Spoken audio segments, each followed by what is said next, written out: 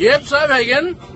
Jeg er blevet øh, efter utallige opfordringer og bedt om at lave lidt for reklame for vores Rødebarte traktortræk. Så skal du se, hvor Rødebarte øh, kan de gamle traktor klar det kom til traktortræk. Banen ligger som den plejer, de smager både øl og bajer, er det det som folk vil have?